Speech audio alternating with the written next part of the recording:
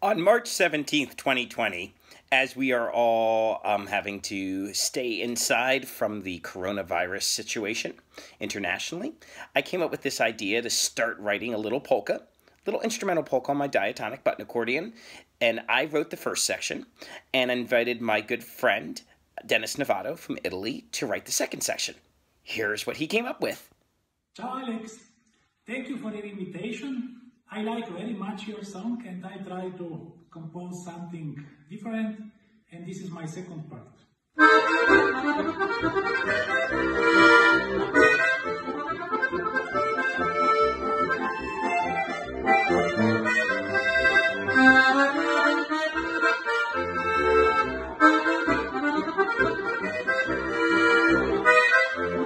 Thank you.